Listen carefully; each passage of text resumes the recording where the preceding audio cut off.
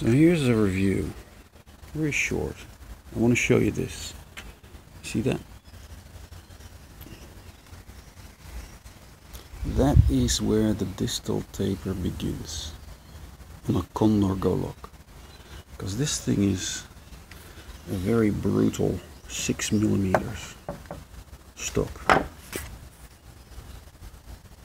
And it's tapered, which means that it's much thinner towards the tip. But that taper begins here. Yeah, so this is all 6 mil. There's the taper. Now that taper is on one side only. On the other side, it's flat all the way through. Now that means that this bevel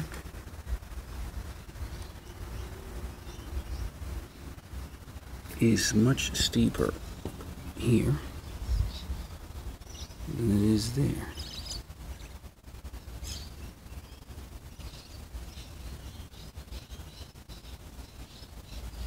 See that?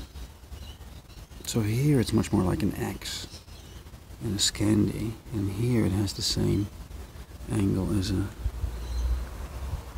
a flat grind, really, because it's so thin.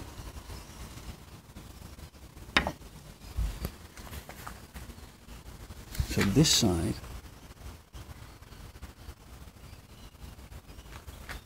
has the distal on it from there.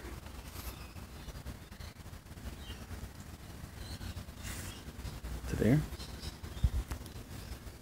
This side does not.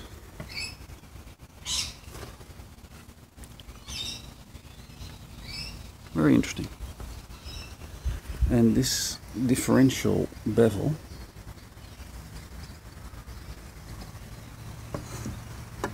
makes it a very functional tool because you can use this to your advantage. You can say, okay, I need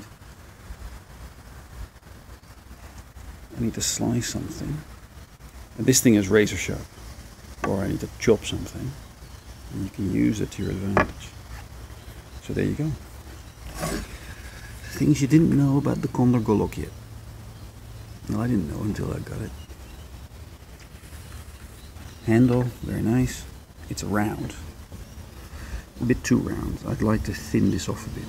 I'd like to take two or three mils off each side so it becomes oval. Because it turns in your hand. That's okay.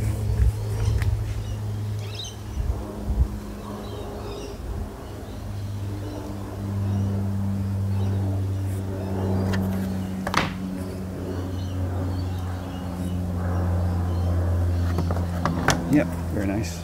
Good tool.